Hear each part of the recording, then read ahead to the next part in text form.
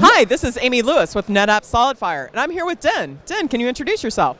Sure, uh, I'm Dan. I'm working for a company called Splunk as a principal software developer. Excellent. So we're here at DockerCon. It's my first DockerCon. Is this yours first, or? Yes, it's actually my first DockerCon as well. Very cool. So, what's the coolest thing you've seen, done, or heard around around Docker? What are you thinking about these days? Uh, it's it's just you know great to see how for like few years they actually can uh, get like 4,000 people in Seattle for one conference. It's, it's pretty amazing. I, I, I'm thrilled. It's it's huge. So, what are you working on? I hear you've got some interesting stuff. What sort of is your passion, and what drives you around Docker? Oh yeah, so uh, actually I first time I started to work with Docker about like a year ago and uh, from then uh, we, we did a lot of things uh, related to Splunk as well. We built, uh, we started to work on building actually Splunk container, Splunk images for Docker and also how infrastructure about how to get logs from containers into Splunk, right? And one of the things we did is actually we built Splunk logging driver which kind of helps people to get logs from containers in Splunk. Cool. So talk us through that. Um, what is that like?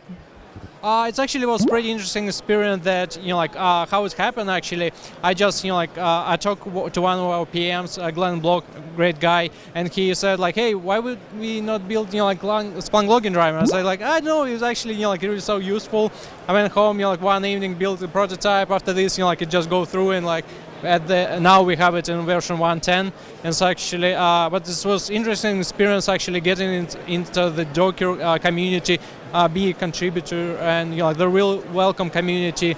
Great it's so easy to uh, send a pull request get the feedback you know, keep talking about like what how, how uh, what we can improve and it's it's great to see how many actually customers now happy to use that and keep talking about that how easy now it's collect logs uh, uh, to, to Splunk uh, from the Docker.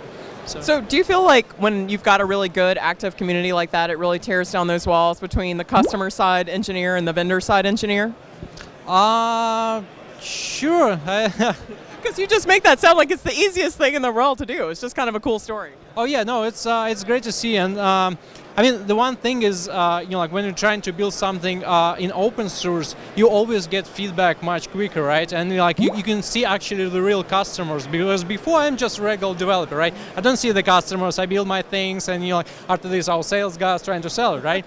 But now, you know, we try to build it and put it in the Docker, right? And so now we see we get feedback. We see how what's the response. We see like what they actually need uh, it for and uh, how well it can be integrated. It's actually it's, it's great, great to see.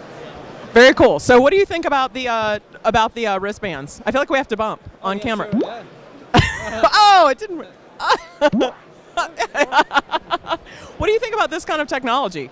Uh, it's, it's pretty cool actually. It's uh, it's great to see that you know like IoT is getting. I hope that maybe they're using something like Splunk to collect all the data from the bands, right? well done, Den. Well done. thank you for coming on Pop Up Tech Talks. Okay, thank you, thank you. We'll see you next time. What? What? What? What?